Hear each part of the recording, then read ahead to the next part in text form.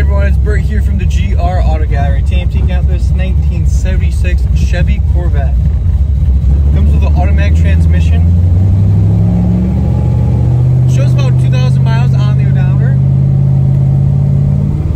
Car overall drives super smooth, shifts smooth.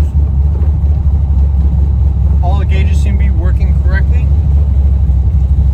Brakes work great. Exterior color of this car is red. The interior color is black with cloth seats.